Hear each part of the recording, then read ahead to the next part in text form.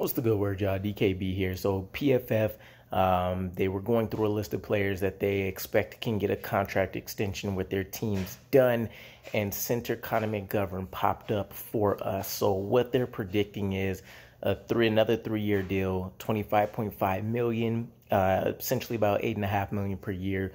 Fifteen point five million of that is going to be guaranteed. Much like the first time we dished out a contract to Connor McGovern, this essentially put him in the realm of just outside or just inside the top 10 of uh, centers being compensated, uh, which will be interesting. I, I, don't think any of us will say he's a, a top 10 ish center or necessarily close to it. He's definitely middle tier in some of the rankings you'll see on like PFF and uh, other guys that want to, you know, have some kind of stacked ranking will essentially say the same. But things could get so much more worse for us at the center position with some of the line play that I've seen from around the league. So the biggest thing is what is going to be Joe Douglas's and you know John Benton, Robert Saleh's evaluation of Connor McGovern. Uh, if we truly believe he's kind of a middle of the pack, um, he definitely saw, falls somewhere in between just above average and maybe just below average.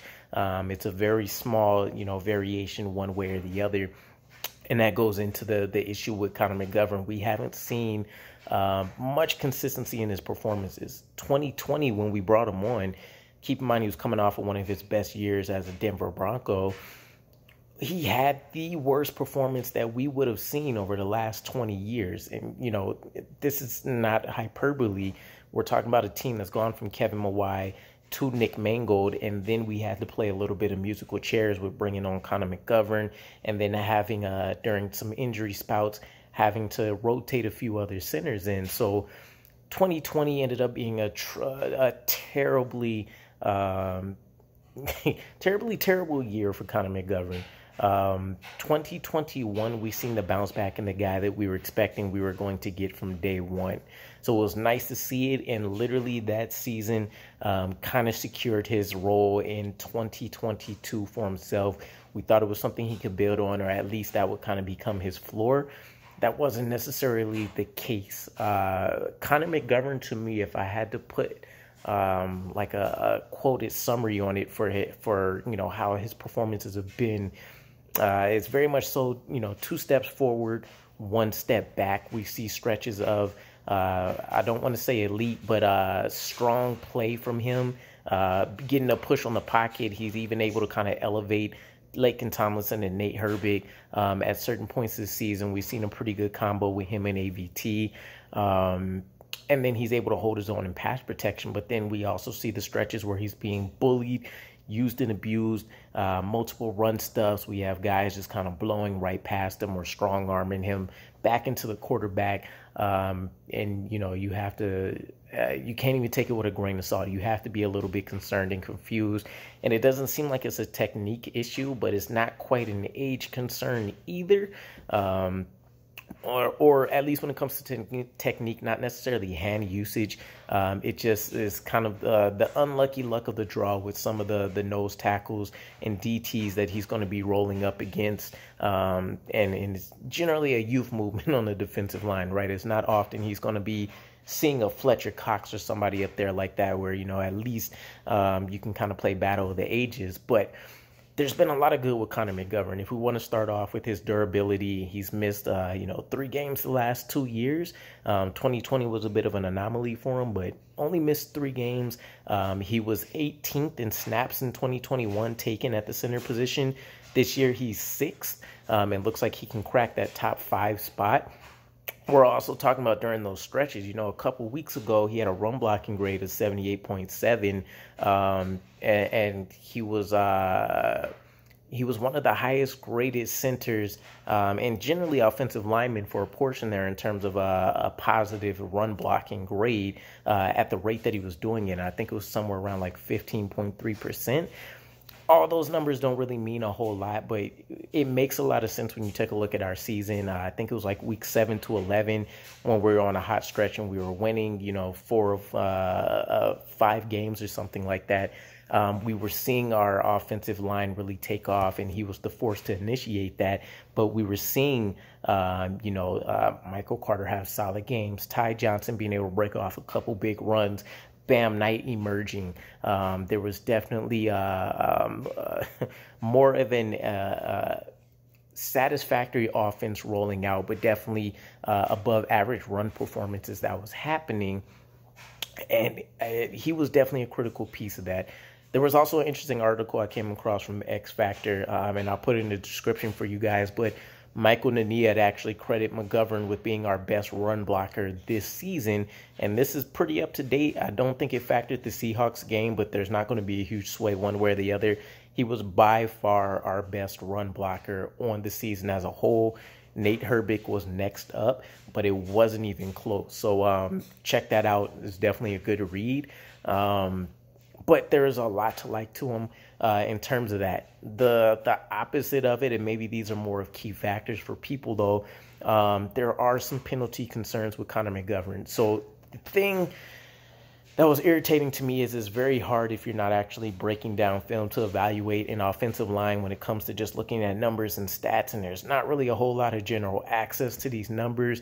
Uh, i've seen a few different places that try to track them and the penalty tracker has been different for all of them but um, if we want to go based off what like espn uh, is showing us he had three penalties in 2021 which tied him for 25th and then this year so far he's had four penalties which has tied him for 18th not extremely crazy, um, but some of the penalties, a lot of it is holding um, and and some false starts and things, and it, that sticks out in terms of the false starts because we already feel like we have a discipline issue on the team as a whole, and uh, we've seen the offensive line stagnate.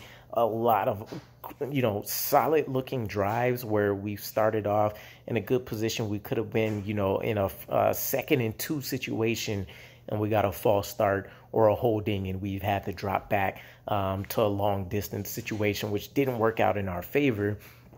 And then the other piece of it, which is a significant part, is he has been somebody that, that has allowed a lot of sacks, a lot of pressures, and it's, it's come in spurts.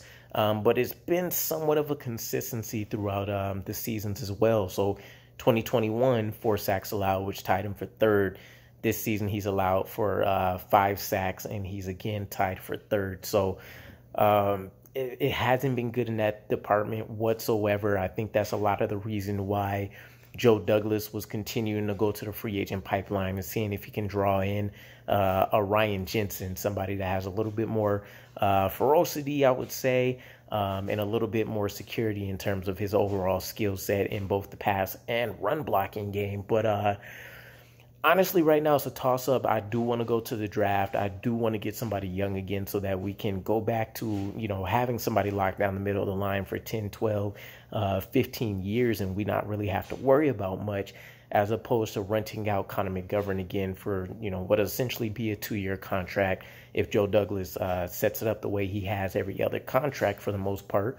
Um, so uh, it's a bit of a toss up. I think either way, if we sign McGovern and we got a draft pick, great. Maybe that's the best of both worlds. Um, but if we don't end up, you know, signing him, he feels like uh, he's worth more. Keep in mind, this is a little bit of a pay cut for him, right? Um, he was averaging nine million a year uh, on his original contract, twenty-seven million over three years. He might not want to take a pay cut. Uh, maybe he feels like he contribute can contribute to a better team, or somebody else is willing to toss him a bigger bag. Um, and again, he's on the wrong side of 30, so he's going to be looking to try to capture as much money as he can. Um, but if we can secure him, I think it would be nice. Right now, you can probably really only say we have one position on the offensive line locked down, and it's still a big if just because of the injury concerns. Alijah Vera Tucker is going to be our most proficient blocker when he returns, and uh, assuming that he's 100% healthy. Second, I would have to say is Mekhi Becton. Um, again, we're going to have to assume that he's uh, going to be healthy, but we've seen him in the building. He's been putting in work almost since he uh, had the surgery. I think it was like two weeks right after they said. Um, and then Max Mitchell looks like our next best option, but literally best case scenario, that's only three guys on our line, and we're still talking about a lot of depth questions. Um, what's going to happen with Laken Tomlinson? What's going to happen at the right guard spot? And then again, some of the depth there. So uh, a lot of questions that we have to answer. This might be the best option to at least take some concerns off early in terms of kind of somewhat knowing who we're going to have holding down the center spot. Um, but my biggest issue with bringing back Connor McGovern would be as the guy that's supposed to initiate the communication across the line. We really shouldn't see as many false starts as we're seeing.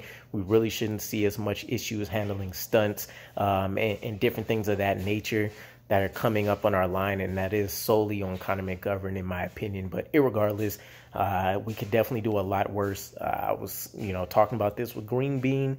Uh, it seems like if you know by the time you're 28 or so, as an offensive lineman, if you haven't had it figured it out, uh, if you haven't figured it out yet, you probably aren't going to. And so there's not a lot of guys left in the league when we're talking about vets um, that you can go out and just plug and play these days and see, uh, you know, um, the success that I would say you're probably looking for.